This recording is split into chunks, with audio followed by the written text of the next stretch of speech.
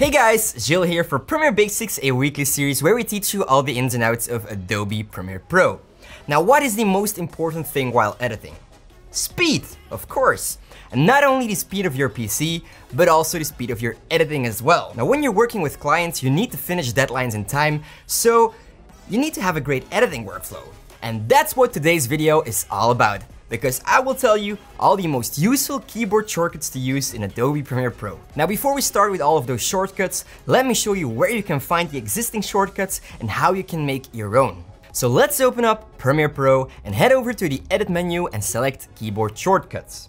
Now this opens up a new window and from here you can assign specific actions to your keyboard. Now most of these are quite logical and useful, but some of them aren't, or aren't even assigned to any key yet. So I'll go in depth and show you some of the keys and actions that I use the most that drastically increase my editing workflow.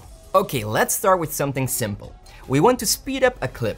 We can simply press R to get the rate stretch tool and this allows us to drag the clip which will make it longer, so slower, or shorter to make it faster.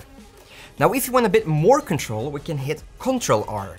This will give us the speed duration pop-up menu but if we want the most control, we want to speed ramp the clip. Now right click on the effects button in the top left corner of the clip and then go to time remapping speed. Now unfortunately there isn't a shortcut available for this action, which I think Premiere should really include. But once we've done this, you probably will use P or your pen tool to make keyframes. But there's a quicker way, and that's just holding Ctrl while clicking. And bam, a keyframe. Super quick.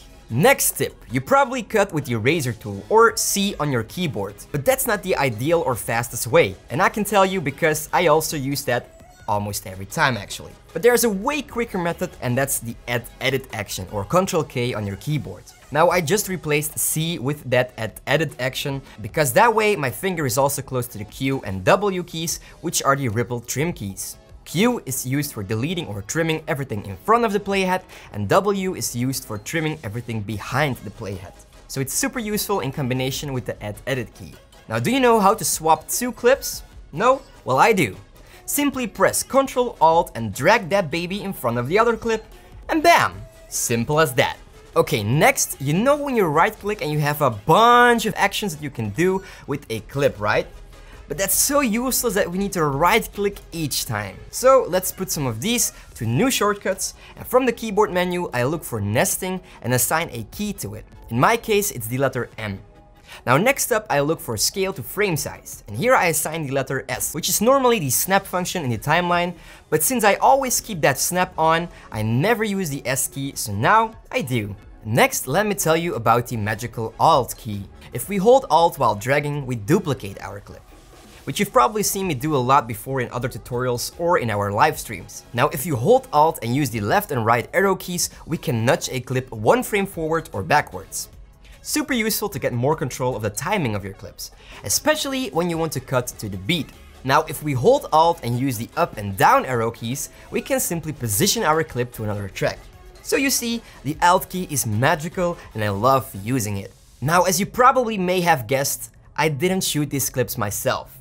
I got these from Storyblocks. Now this video is not sponsored by them, but I legitimately use them almost each week. It's kind of my shortcut for when I can't make footage myself. And their library is just filled with stock clips, but also with abstract shots, overlays, and yeah, just so much more. So it's always a nice way to use those clips to enhance my edits. And you know what I recently discovered?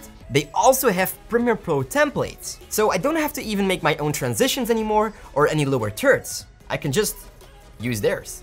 Super useful. But anyway, let's just continue. Did you know that if you have a clip with effects applied to it, you can select it, hit Ctrl C, and then select another clip and press Ctrl Alt V. And this will open a new box and here you can select the attributes or effects that you want to paste. Now it's super fast and it's an easy way to get your effects onto multiple clips. You can even do it with time remappings. So super useful. Okay, three more. Let's head to the keyboard shortcuts menu and look for keyframe temporal interpolation. And here you can assign shortcuts to your ease in and ease out functions for keyframes. I assign these to 1 and 2 on my numpad. And when I then make an animation in the effects control panel, I simply have to select a keyframe and press either 1 or 2 to ease them. Now from that same keyboard shortcuts menu, we can also look for Program Monitor. And now we can assign keys to different actions in our program monitor itself. Now what would be useful here? Well, changing the resolution for example, or zooming in and out. Once again, I would recommend using the numpad keys for this. Okay, one last shortcut that you probably didn't know about. In the keyboard shortcuts, look for Lumetri Bypass. And once again, assign a key to it. If we now apply some color grading to a clip, we can go into the Lumetri panel and hit that key. Now it will show you the before. So a super quick way to get a before and after look of your shot. And that's it guys! I really hope these will enhance your editing speed because they actually enhanced mine a lot. Now I'll see you guys next Monday for a new live stream and of course next Wednesday for a new tutorial. Like always, stay creative.